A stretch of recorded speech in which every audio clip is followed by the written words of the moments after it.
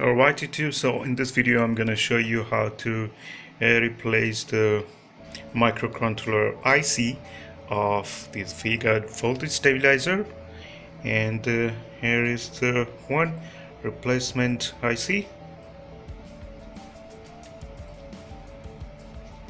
you can see that I've already filed these legs uh, for proper connection.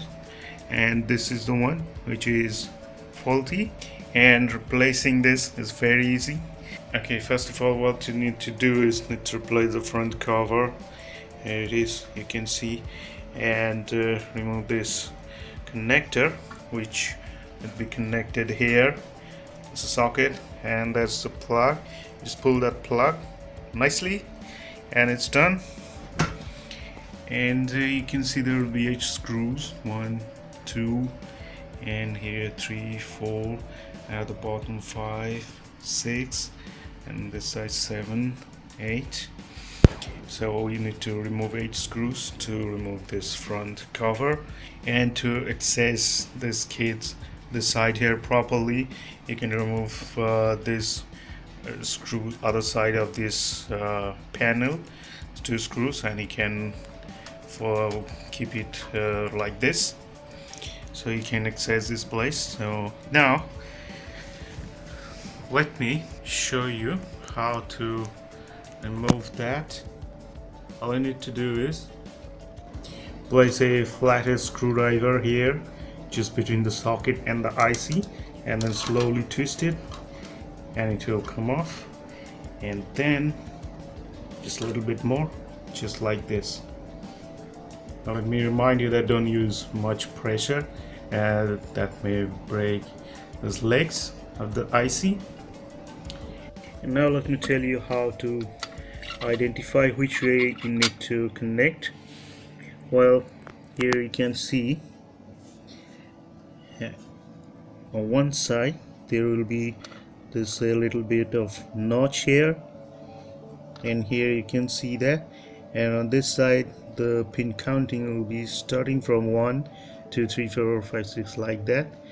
So you need to match this IC's notch to the socket's notch. Okay let's take this one.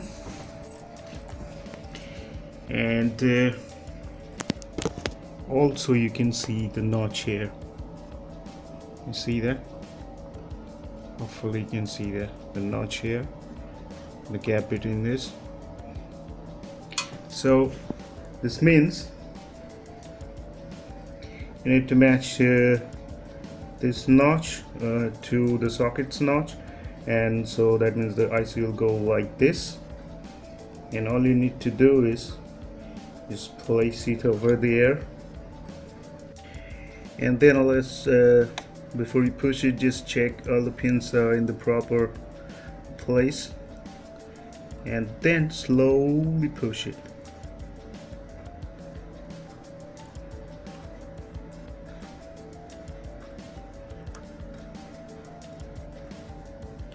And that's it. It's done.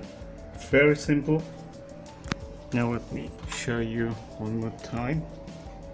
You can see this is the notch of the IC and uh, this is the notch of the socket. You can see you can see the mark here on the PCB board the white line that shows the notch is here.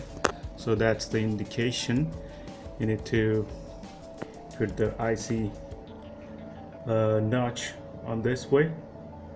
So it's very simple. Alright now let's check it.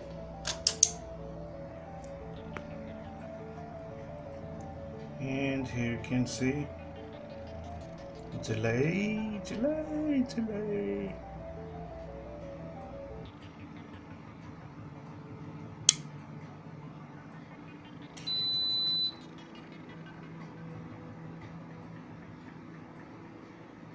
Alright so that's it. And you can see the input voltage which is higher than 250 and the output voltage is 218 so it's now working perfectly. Fine. So uh, that's it. That's all for today. If you like the video hit the like button and subscribe to my channel and share it with your friends. Thanks for watching. Bye bye